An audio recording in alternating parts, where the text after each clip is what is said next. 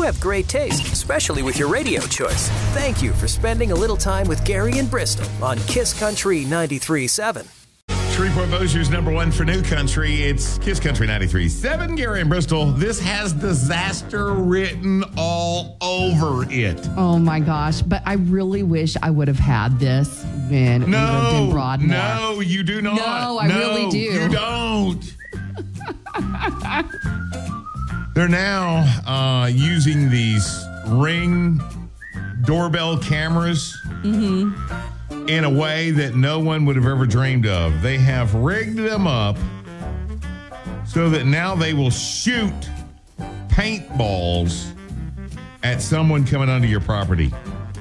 They say there's a Kickstarter on the way. It's a device called PaintCam Eve.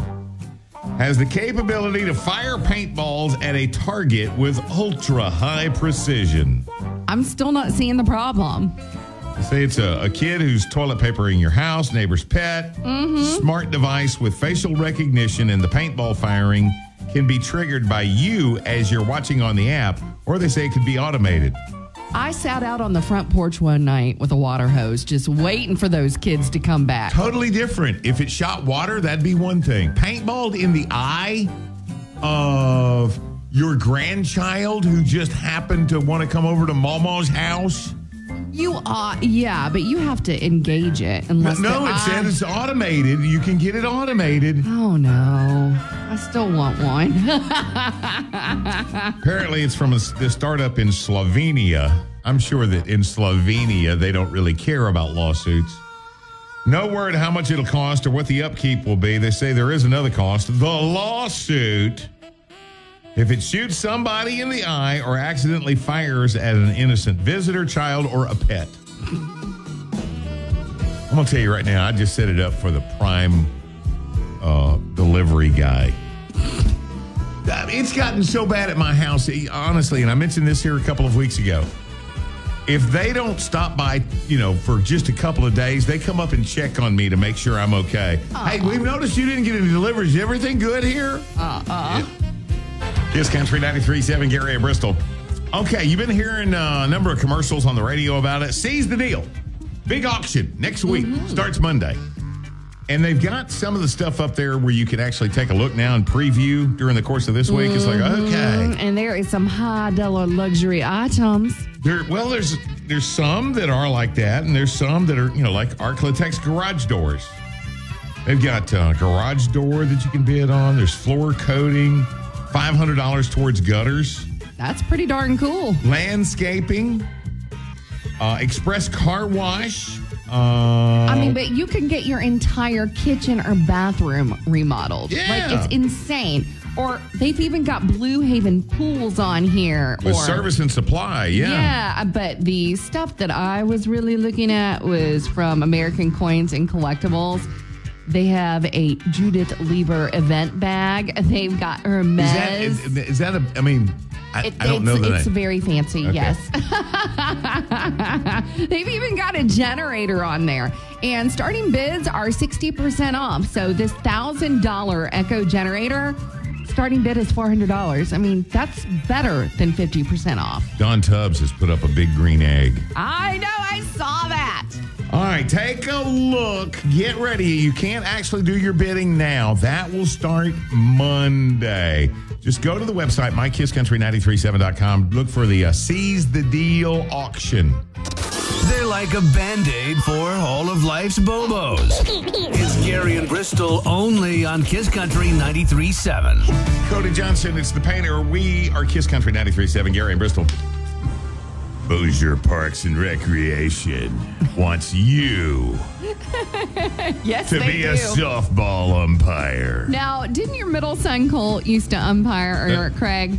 Uh, Craig and Colt were Did both they? umpires. Yes. And they were tough dudes for that, if Well, I they remember were correctly. abused. I will say that. You know, Craig's like, I don't care how much they pay a kid.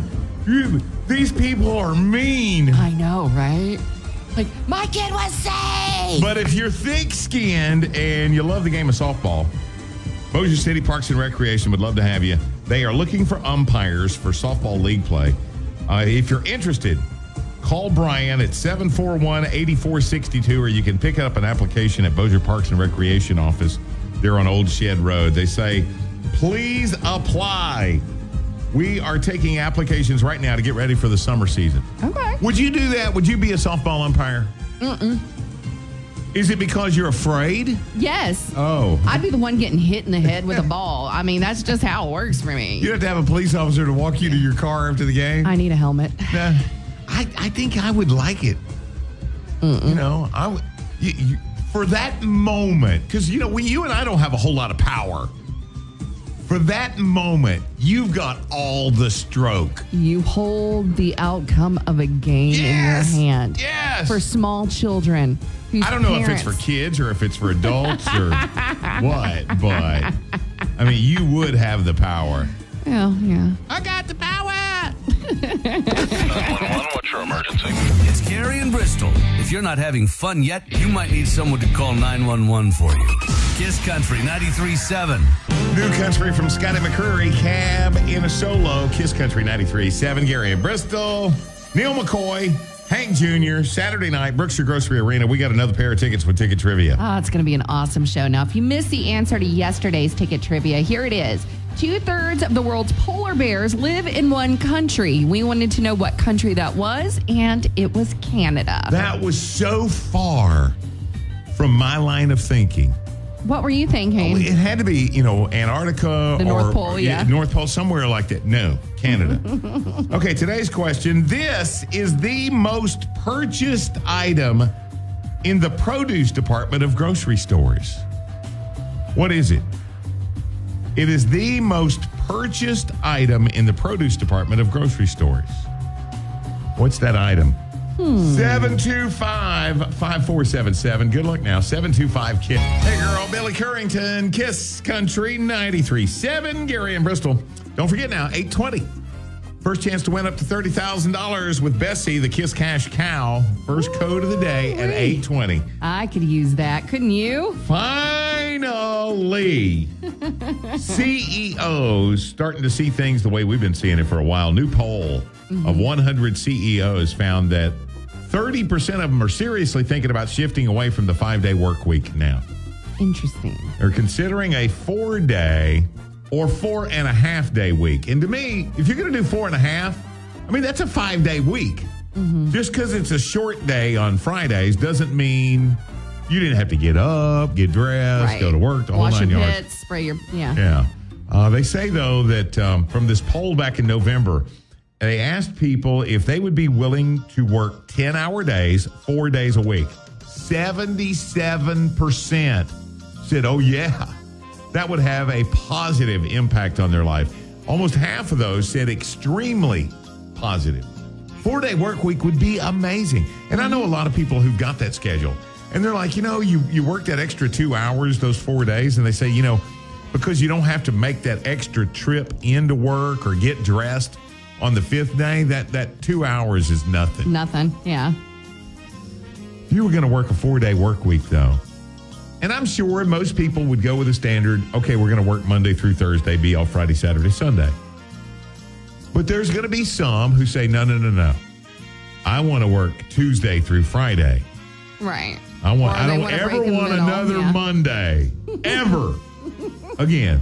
Yeah, but then your Monday just happens on Tuesday. Yeah, but You it's not I mean? Monday. It's just not oh, Monday. So what would Either you way, you get a three day weekend. Oh, see, I'm. I am so dense, and I'm just going to call it what it is. You're dense? I am dense. okay. It takes if I take three days off, it takes me too long to get back into the program. I I lose too much, and so if I took off Friday, Saturday, I mean, excuse me, Saturday, Sunday, and then take off again Wednesday, so I would work Monday, Tuesday, Thursday, Friday. Gotcha. I could do that. See, then I'm never working more than two days in a row.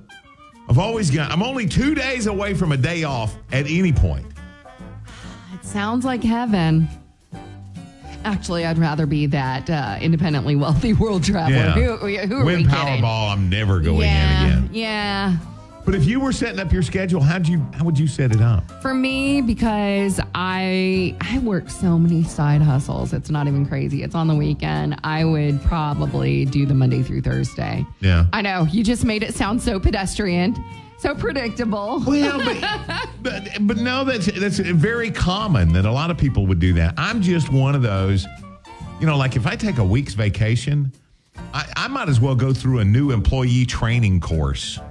I have forgotten everything. Yeah, but honestly, it's gotten to the point now where it takes me three or four days off just to begin to relax. Oh, I can relax like two minutes after I leave here.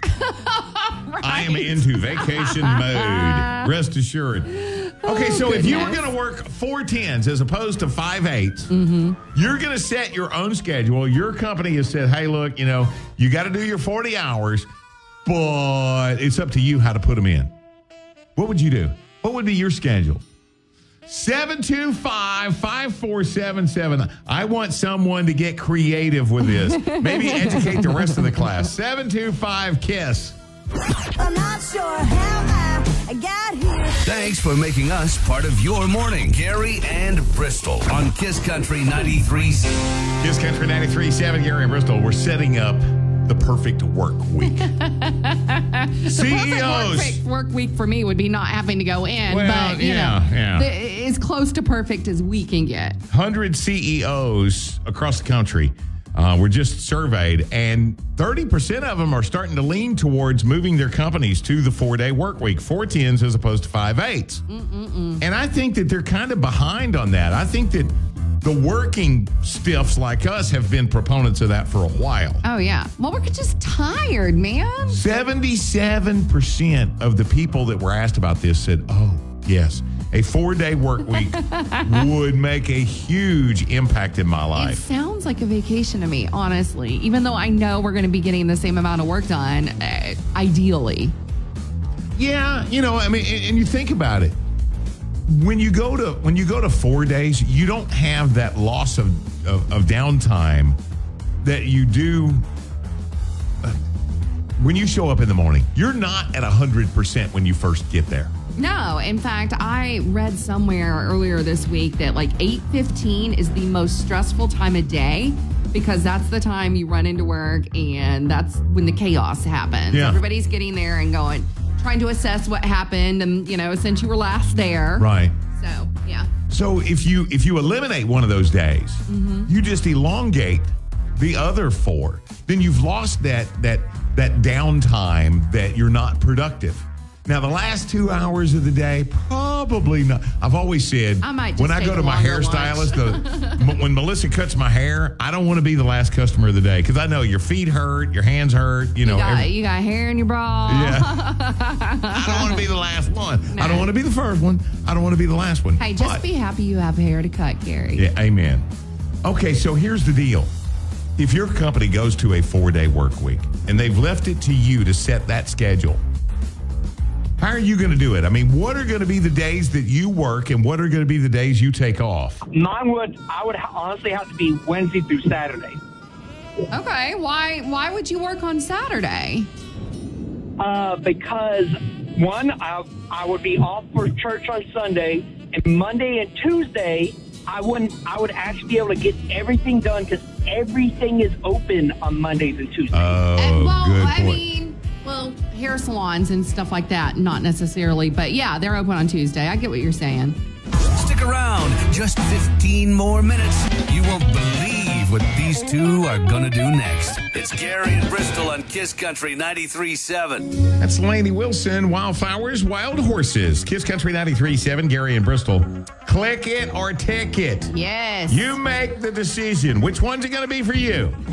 Because I Shreveport think I'll will click. Shreveport will help you out with that Friday. Exactly. They're going to have a safety checkpoint in Shreveport. Shreveport Police Department putting this on from 2 until 8 this Friday. It's going to be at an undisclosed location in Southeast Shreveport. So make sure you got that seatbelt buckled. I'm And- assuming that's PM and not AM. correct. Okay. Well, they Yeah. got two every day. I know. I know. Two to eight this Friday, and uh, all we know is it is Southeast Shreveport. Kiss Country 93.7. We need more cowbell. For another Kiss Cash Cow code.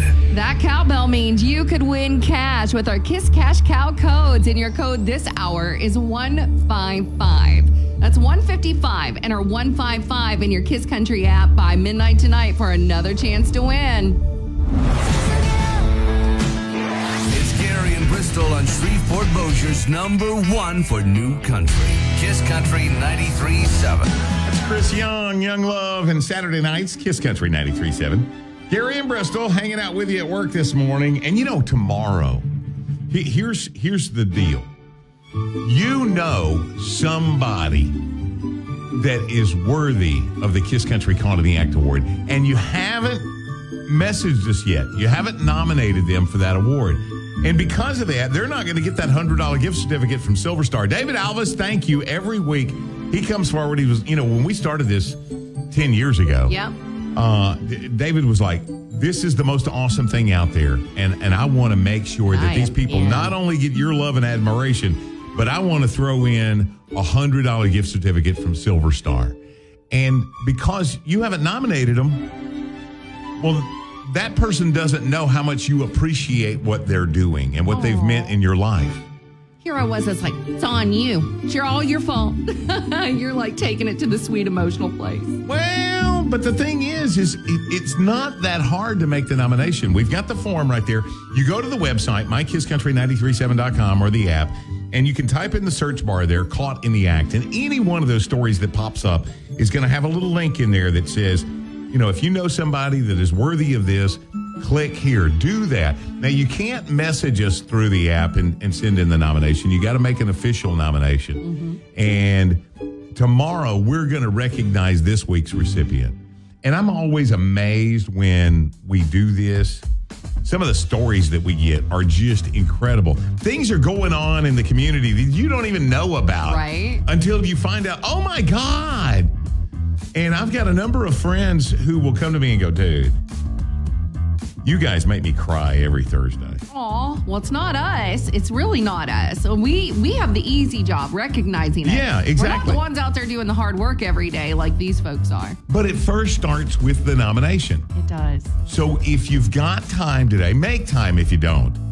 But if you got that minute, jump on the website or the app, submit that Caught in the Act nomination, and tomorrow we'll find out who gets the award this week, and more importantly, who's going to Silver Star. Right? Get that done now. Almost as important as your morning coffee. It's Gary and Bristol, only on Kiss Country 93.7.